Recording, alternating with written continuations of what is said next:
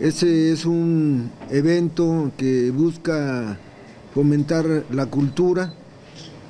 Este encuentro es de poesía, de canto, de danza, de baile, de oratoria.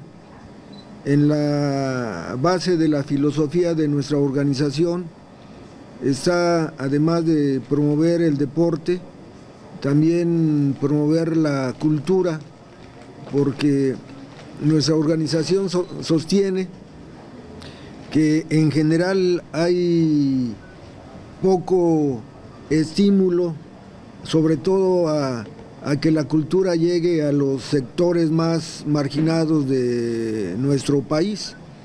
El evento se realiza en Tecomatlán, Puebla, cuna del movimiento nacional antorchista y estamos invitando a toda la población en general.